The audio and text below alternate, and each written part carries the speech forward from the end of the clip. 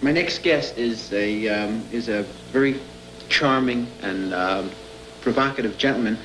Um, he, uh, whether you agree with his point of view or not on things, uh, he's always extremely interesting to um, to talk to. I I don't agree with him on a great many subjects. There are a few that we do agree on, um, but uh, he certainly is the best in the world at what he does. And um, Mr. Billy Graham.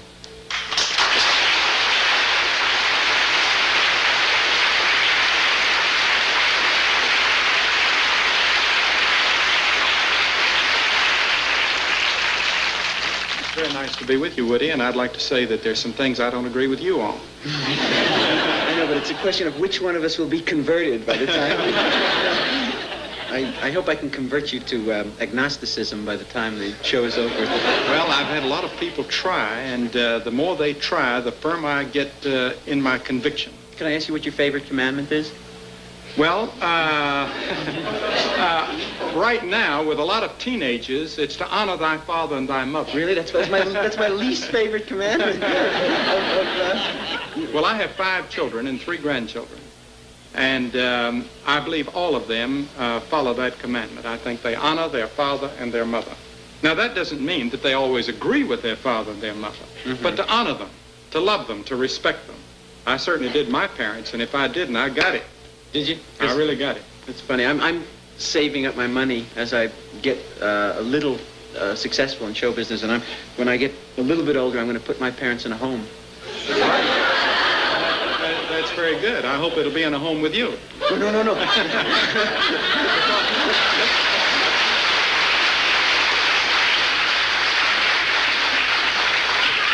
Are there any questions? Mr. Graham, I read that you don't believe in premarital sex relations. Is this true? Uh, it's not a matter of what I believe, it's uh, what the Bible teaches. And the Bible teaches that premarital sex relations are wrong.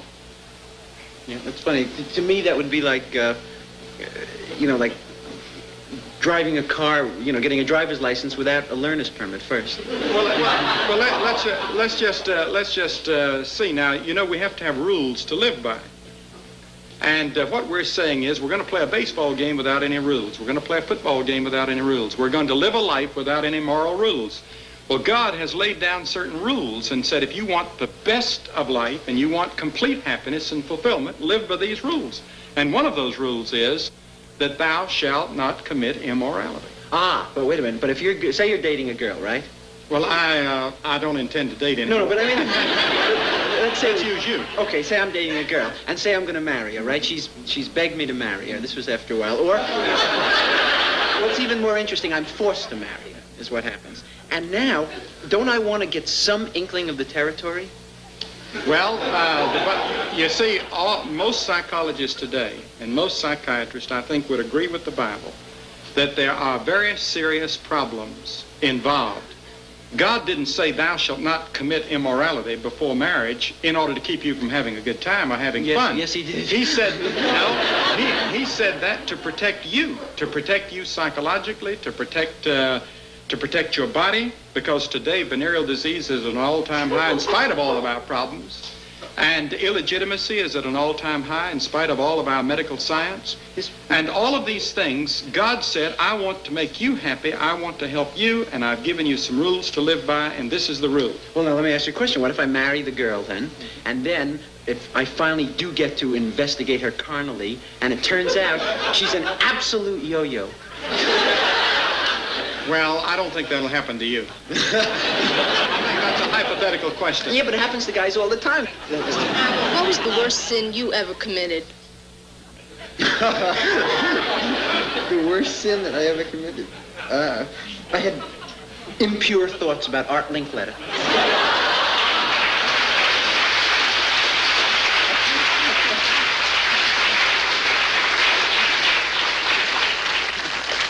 Funny. I, do you remember the worst sin you ever committed?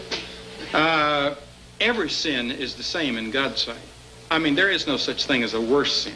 Oh, really? I- If you wanted to find out which sin was the greatest, uh, I would choose, if I were forced to choose, I would say idolatry, breaking the first commandment, thou shalt have no other gods before me. Really, that one bothers you the most? No, that doesn't bother me. That bothers the scriptures. It bothers God.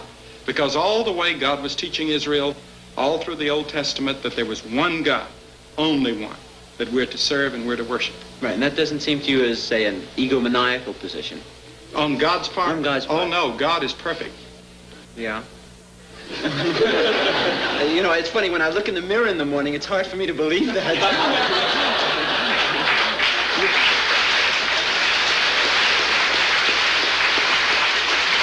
Now, you know, in God's sight, you are beautiful. And, in, and everyone...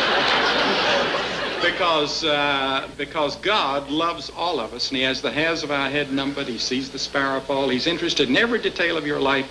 He made you like you are. He made you Woody Allen, and he expects you to live up uh, to a standard that he has made.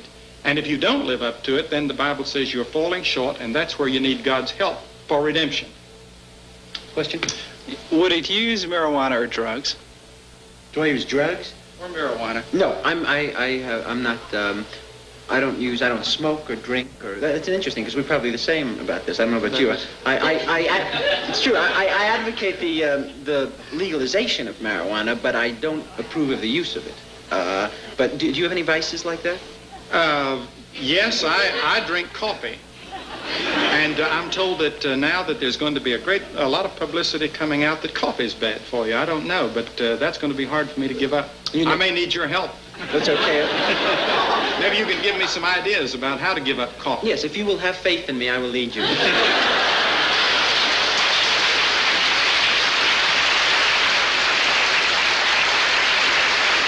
Have you seen any of Woody Allen's plays or movies? And what do you think of them? No, I have not. Uh, I have only read reviews, and uh, I would like to, though. And after meeting Woody, I think if he'll give me a free pass or a ticket, I might. and uh,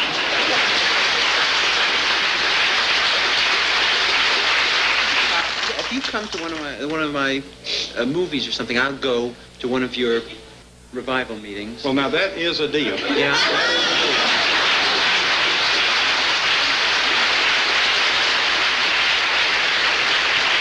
I'd like to report back to this audience on that. It'd be an interesting thing. Uh, because uh, uh, I'll let you know my schedule, and you let me know yours, and uh, we'll do that. I'd love it. You could probably convert me because I'm a pushover. You know what I mean? I, I have no convictions in any direction, and if you if you make it appealing enough and you promise me some sort of wonderful afterlife with a white robe and wings, I would go for it. Well, I don't promise you a white robe and wings, but I, I can promise you a very interesting, thrilling life. Yeah, one wing, maybe. No? You know, there's a guy in England that's the number one pop idol right now by the name of Cliff Richards. And Cliff Richards said the other day, he said, when I accepted Christ as my Lord and Savior, he said this was 10,000 times more of a turned on experience than any trip I ever took on LSD. So you've got something in store for you. You see, you've experienced some of these other things, but you haven't experienced God yet. And that's the greatest of all experiences, and I'd hate for you to miss it. Oh, I'd hate to miss it if it's there. The question Well, is it's there. The question is, is it there? You're You coming what to I our meeting, you said. Yeah, I can come. I know the meeting will be there, but will God show up? Oh, I believe he will.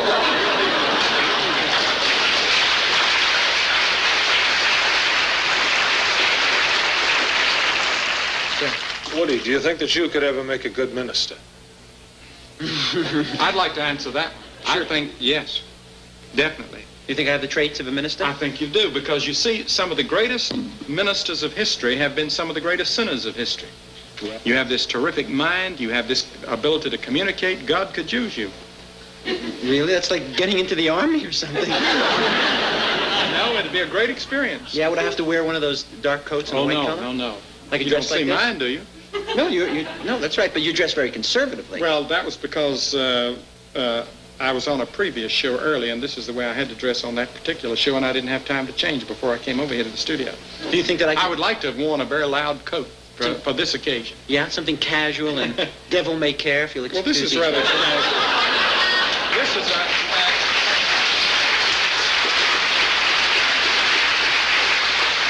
Something wild, like a blue coat or something like that, rather than yes, something really crazy like a blue coat.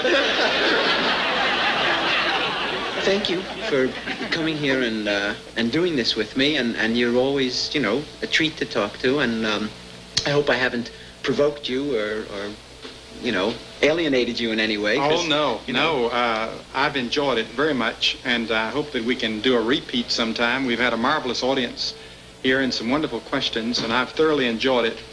And uh, I want to say God bless you. Well, thank you and the best Thank to you, you.